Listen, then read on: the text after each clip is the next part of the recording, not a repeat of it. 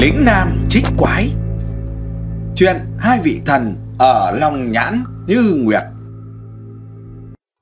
Vào năm Tân Tỵ, đời vua Lê Đại Hành Thiên Phúc Nguyên Niên, Tống Thái Tổ sai hai tướng binh là bọn Hầu Nhân Bảo và Tôn Toàn Hưng, đem quân sang xâm lược phương Nam đến sông Đại Than. Lê Đại Hành và tướng quân Phạm Cự Lượng kéo quân tới sông Đổ Lỗ để cự địch. Hai bên đối đầu cầm cự. Đại Hành đêm ấy mộng thấy hai thần nhân ở trên sông đến vái mà nói rằng, anh em thần, tên là Trương Hống và Trương Hát, xưa kia theo triệu Việt Vương, cầm quân chinh phạt nghịch tặc mà lấy được thiên hạ. Sau Lý Nam Đế xoán ngôi, nghe biết và triệu hai anh em thần về theo. Bọn thần vì nghĩa cũ không thể theo được, uống thuốc độc mà chết. Thượng đế thương anh em thần có công, lại trung nghĩa một lòng, mới phong làm quan tướng trong hàng các thần linh, thống lĩnh âm binh. Nay thấy quân tống sang xâm chiếm, khổ hại sinh linh nước ta cho nên hai anh em thần đến xin ý kiến, Nguyện với nhà vua cùng đánh giặc này Để cứu sinh linh. Vua mới giật mình tỉnh dậy, Mừng rỡ mà bảo cận thần rằng, Có thần nhân giúp ta rồi. Bèn lập tức đốt hương ở trước thuyền ngự Mà khấn rằng, Nếu thần nhân có thể giúp ta làm nên công nghiệp này, Thì bao phong chức tước, Khói hương muôn đời. Đoàn giết xúc vật tế lễ, Đốt cúng áo mũ, Tiền giấy voi ngựa Đêm ấy đại hành lại mộng thấy hai thần nhân mặc áo mũ vua ban đến để bái tạ. Đêm sau lại mộng thấy một người dẫn một đoàn quỷ áo trắng từ phía nam sông Bình Giang mà tới. Một người dẫn đoàn quỷ áo đỏ từ phía bắc sông Như Nguyệt mà lại, cùng xông vào đánh trại giặc. Canh ba đêm 23 tháng 10, trời tối đen, mưa to gió lớn đùng đùng, quân tống kinh hoàng tan vỡ. Thần nhân giấu mình ở trên không, lớn tiếng ngâm rằng Sông núi nước Nam vua Nam ở Dành dành định phận tại sách trời. Này sao lũ giặc sang xâm phạm Bây sẽ coi rồi chút tả tơi. Quân Tống nghe tiếng, Xéo đà vào nhau, Tán loạn. Ai nấy đều lo chạy thoát thân, Bị bắt không biết bao nhiêu mà kể. Quân Tống đại bại về Bắc, Đại hành mới trở về ăn mừng, Phong thưởng cho hai vị thần nhân. Người em phong làm uy địch đại vương, Lập miếu thờ tại ngã ba sông Long Nhãn sai dân ở Long Nhãn và sông Bình Gian phụng thờ. Người Anh được phong làm khước địch đại vương, lập miếu ở Như Nguyệt, sai dân ở hai bờ sông phụng thờ, này vẫn còn đó. Lính Nam trích quái Chuyện từ Đạo Hạnh và Nguyễn Minh Không Thiền sư Đạo Hạnh Họ từ tên Lộ Ở chùa Thiên Phúc trên núi Phật Tích Cha tên là Vinh làm chức tăng quan đô sát ở triều Lý, thường qua chơi làng An Lãng. Lấy con gái người họ Tăng tên là Loan nên sống luôn ở đó. Lộ tức là con bà họ Tăng vậy. Thuở niên thiếu thích giao du lỗi lạc, hào hiệp, có chí lớn, thường kết bạn với nhà nho phí sinh. Đạo sĩ Lê Toàn Nghĩa và con hát Phan Ất. Đêm thì mải miết đọc sách, ngày thì thổi cháo đánh cầu, đô nước vui đùa. Cha thường trách móc là chế nãi, một đêm cha lộ lẻn và xem trộm Thế đèn gần sách.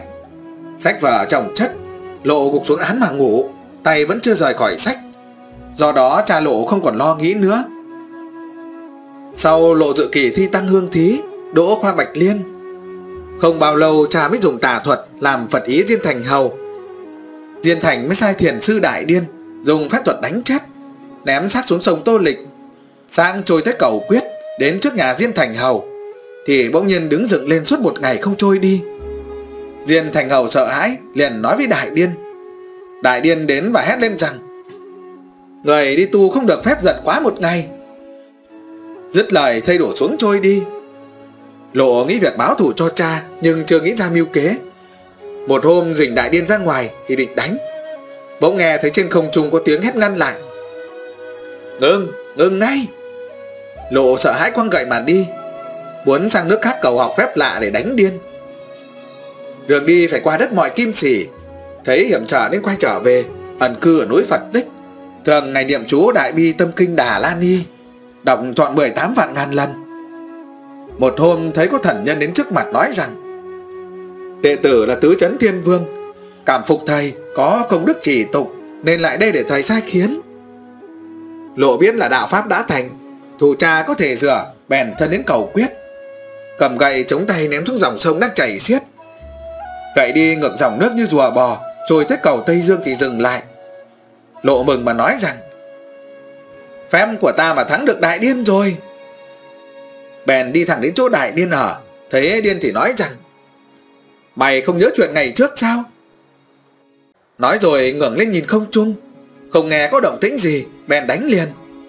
Điên thì phát bệnh mà chết. Từ đó thủ xưa đã rửa, chuyện lo lắng trong trần tục đang nguội, mới ngao du các miền rừng rú để tìm dấu Phật.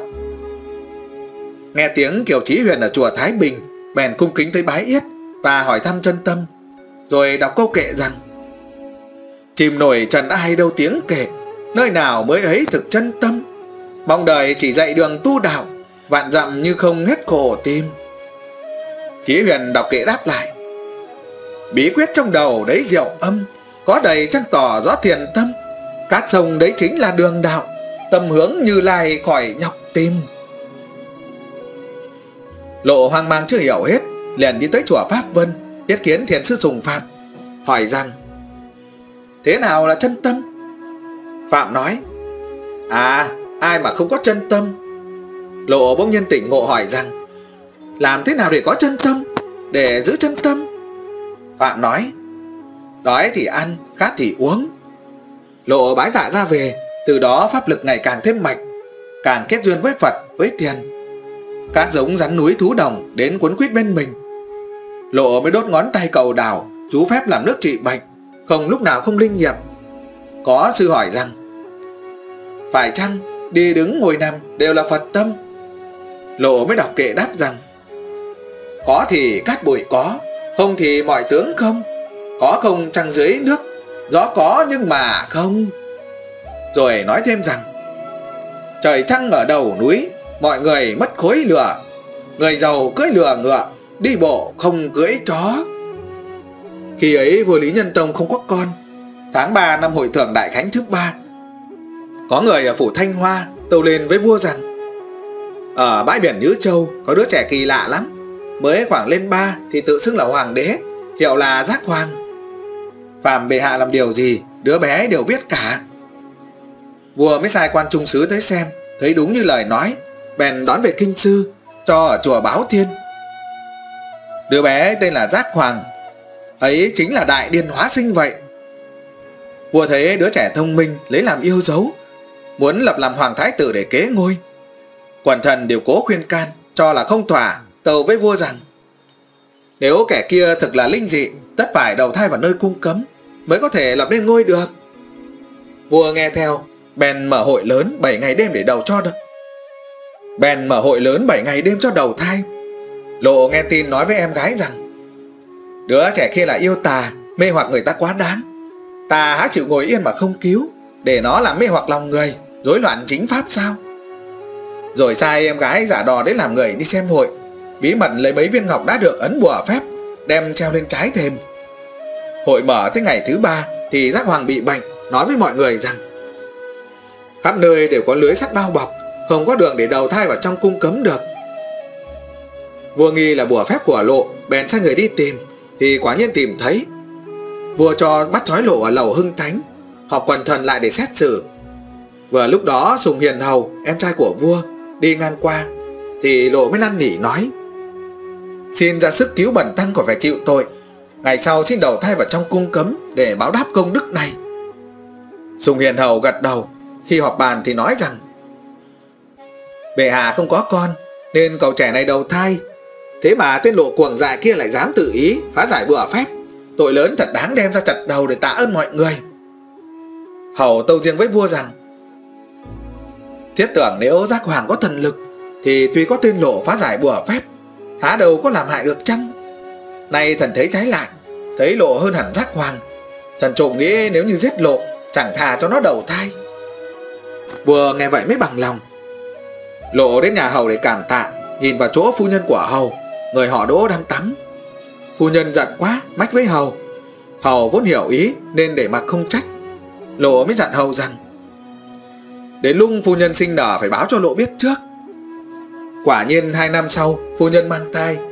Đến lúc sinh nở Hầu nhớ đến lời lộ nói lúc trước liền cho người đến báo tin Lộ bèn tắm rửa Thay quần áo và nói với học trò rằng Căn trần của ta chưa dứt Phải thác sinh ở đời lần nữa tạm làm vương đế.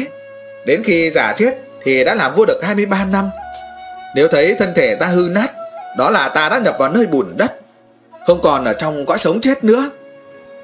Học trò nghe nói, ai cũng cảm động sụt sùi, lộ đọc bài kệ rằng Thu tới mà không có nhạt bay, nhạt cười nhân thế khổ lòng thay, sái sư chớ có đem lòng tiếc, mấy đồ thầy xưa là thầy nay.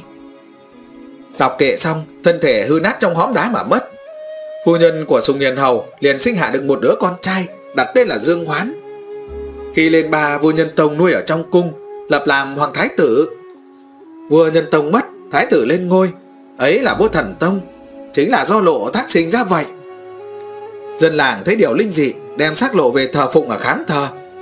Hình xác lộ này vẫn còn ở hõm đá trong chùa Thiên Phúc, núi Phật Tích, huyện Yên Sơn Phủ Quốc Oai. Xưa ở làng Đàm Xá, huyện Đại Hoàng, đất Trường An, có người tên là Nguyễn Trí Thành ở chùa Quốc Thanh, hiệu là Minh Không Thiền Sư. Lúc còn nhỏ tuổi từng đi du học, gặp đạo hạnh, học được đạo giáo trải qua 40 năm. Đạo hạnh thấy người có ý chí, bèn truyền tâm ấn và đặt tên cho. Đến khi đạo hạnh sắp tạ thế, mới bảo Minh Không rằng Xưa tôn sư của ta tu đã tròn đạo quả mà còn bị quả báo nạn đau thương. Huống chi ta đạo quả nhỏ nhoi, há có thể tự giữ mình được sao? Ta này thắc sinh ở trần gian, ở các địa vị làm thầy người ta. Kiếp sau nợ bệnh tật khó tránh nổi. Ta với người có duyên nợ nên cứu giúp nhau. Đạo hành đã mất, mình không mới trở về chùa cũ 10 năm, không có tin tức gì. Khi đó Lý Thần Tông bỗng mắc bệnh lạ, kêu la đau đớn, gầm rú đáng sợ. Thầy thuốc trong thiên hạ Vương chiếu đến chữa. Kể đã hàng ngàn đều chịu khoanh tay. Khi ấy có trẻ con hát rằng Muốn trị bệnh cho vua Phải tìm tới Nguyễn Minh Không Triều đình bèn sai sứ tìm gặp Minh Không Khi Minh Không đến Có nhiều người Vương chiếu chỉ đang làm phép trên điện Thấy Minh Không quê mùa không thèm chào Minh Không bèn lấy một chiếc đinh lớn dài hơn 5 tấc Đóng vào cột điện, Lớn tiếng nói rằng, Ai nhổ được đinh này mới được chữa bệnh? Nói như vậy hai ba lần, Không có ai dám lên tiếng trả lời. Minh Không bèn lấy hai ngón tay trái mà nhổ. Đinh bật phăng ra Thì mọi người đều kinh ngạc thán phục. Khi vào xem bệnh thần tông, Minh Không liền lớn tiếng nói, Kẻ đại trưởng phu được tôn lên làm ngôi thiên tử, Giàu có khắp bốn bề Cớ sao còn phát bệnh cuồng loạn như vậy? Vua nghe nói rất run sợ Minh Không cho lấy một cái vạc đựng dầu Đun lên sôi sùng sục Rồi lấy tay khoáng lên mấy lần Rắc vải lên khắp mình vua Mạnh lành tức thì Vua bèn phong cho Minh Không làm quốc sư ban lộng mấy trăm hộ để tưởng công. Năm Tân Sửu, niên hiệu Thái Bình thứ hai, Minh không mất, thọ 76 tuổi. Còn có một chuyện khác về Nguyễn Minh Không như sau. Ở chùa Không Lộ làng Giao Thủy có vị sư tên là Minh Không. Vào đời chị Bình, xuất ra trụ trì chùa này, nổi tiếng là Đức Độ. Một hôm Minh Không từ ngoài đi vào trong chùa, có vị sư dẫn núp ở sau cửa, giả làm tiếng cọp nhảy ra hù dọa Minh Không. Minh không mới cười nói rằng À tu hành như ông, Định làm cọp hả Chắc ta phải cứu người mới được Vài năm sau thì vị sư này chết, Hóa thành thái tử vua họ Lý Mấy năm sau thái tử bỗng nhiên lông mọc đầy người Gầm rú la hét trông như cọp dữ Vua mới cho tìm đủ thầy thuốc Sư tăng để đến chữa Nhưng ngài nấy đều phải bó tay Nghe rằng Minh không có phép thuật Vua mới cho người đưa thuyền đến rước sư Sư lấy nồi cơm nhỏ nấu cơm cho lính chèo thuyền ăn. Sứ giả cười bảo rằng Người đông quá, sợ không đủ no bụng. Minh không mới bảo rằng Không sao, cứ ăn, hãy xem lòng thành của ta. Như thế cả bốn năm mươi người lính trèo ăn hoài không hết.